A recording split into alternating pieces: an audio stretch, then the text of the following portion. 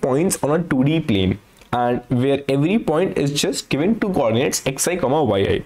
I have to return the widest vertical area. Now what this widest vertical area by them means is and for sure widest vertical area between two points because we have given n points.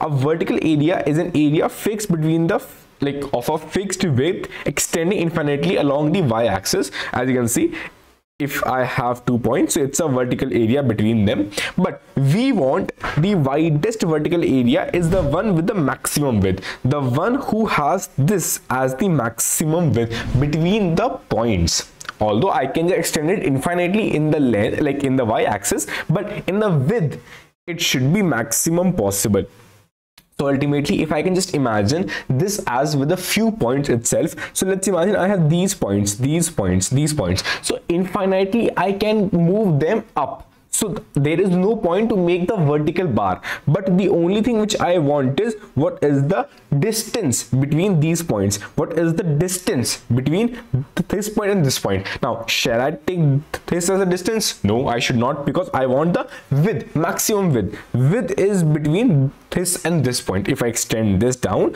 then it will be the width. Okay i can just check the width between this point and this point. And uh, what about this and this? Yeah if you go and check the width between these two points then it will be zero. So i can just go and have like this width between the next two points and the width between these points. So out of all these points which will give me the maximum width? That will be the answer. That will be the length which i wanted because ultimately i just wanted to return the widest vertical area. That's it.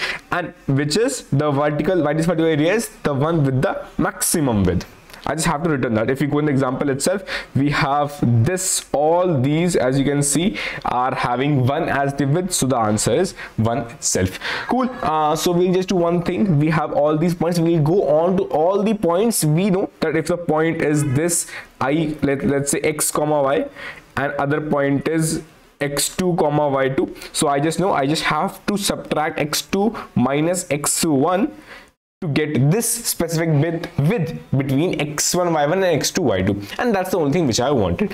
So i'll just go and iterate on all of my points and get the answer. And there's nothing which we did. Uh, we just only wanted to get the width between every two consecutive points. Again we want consecutive points. So first we will have to sort the points. So what we will do is we will just um, sort the points uh, dot begin uh, points dot end. Now uh, we want we want the maximum width which is the answer for us.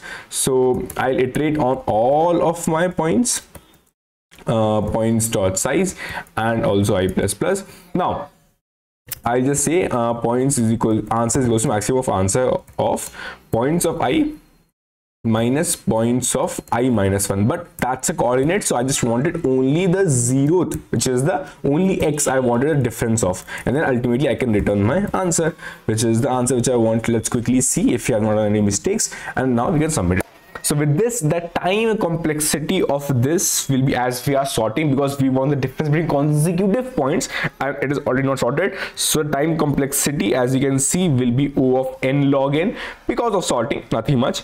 And space as we are not using any extra space but we are sorting and sorting internally takes a space of log n. So the space will be o of log n but for python like for c++ and java it will be log n for python it will be o of n. Cool watching. bye bye